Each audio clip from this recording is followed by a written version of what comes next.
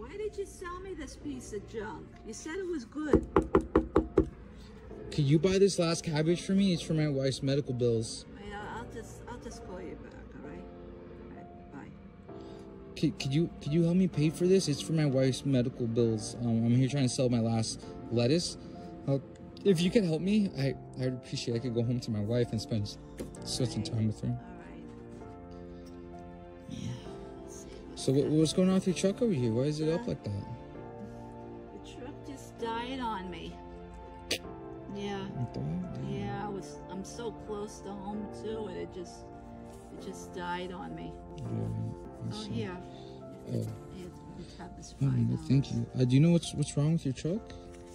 I don't know. I, you know, I don't know anything about. I don't know anything about cars. What was going on with it? Well, it started to uh, heat up and it, it made a crazy noise and and then it just like it didn't move. Oh wow. Well, look, I'm I'm sorry. I'm I'm not a mechanic. I can't really help you with that. Um, but what I can do is I can help you a little bit. Look, here's your five dollars back. I, I thought you needed for your No, go ahead and take it.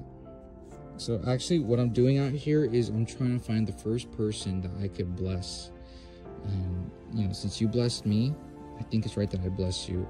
See, I have a camera on my chest, and what I'm doing is I'm simply um, influencing people to be as kind as you are, and um, and right now I'm gonna go ahead and I'm gonna gift you this cabbage right here. Inside is five thousand dollars for you for being so kind. You keep that mentality going. It's gonna take you very far. Okay. Crazy. You have a wonderful day. Thank you. so